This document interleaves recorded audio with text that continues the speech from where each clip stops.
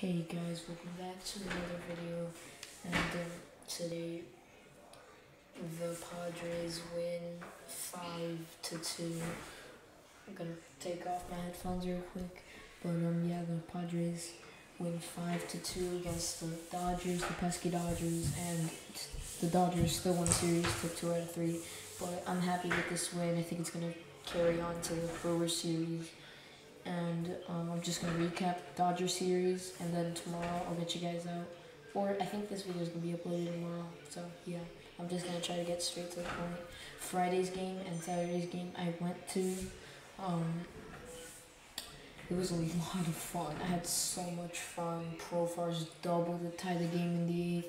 I have never. I I, don't, I think that was the best Padre game I've ever seen, maybe in my entire lifetime or in the recent eight years that I've been going to Padre games. And Saturday's game I went to as well. I was fortunate enough to go to two of these games. And um, I went to yesterday's game as well. Super good game. Tommy Pham, liner, um, Mookie Betts dives and catches the ball to end the game. What a play by Mookie. Ali does not deserve him. But um, that was just um, it was an amazing two games, and then today's was really good as well. Um, honestly, I guess hats off to the Dodgers. They played an excellent series, and hats off to our Padres because if they they if they're down, they're gonna fight back.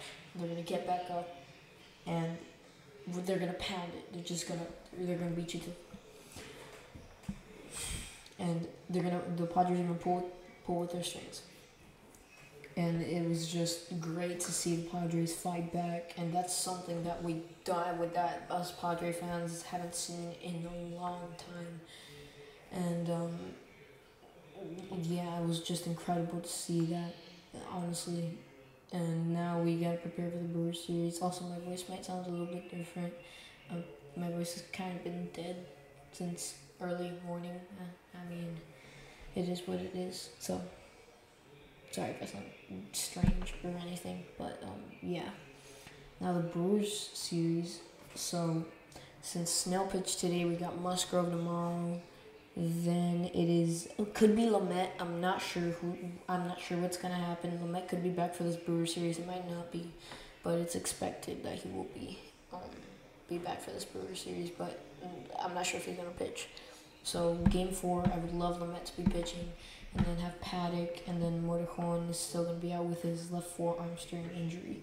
So yeah, guys, um, just a quick just recap and a little bit of what we might see series. Um, so thank you all for watching this video, and I'll see you on the next one.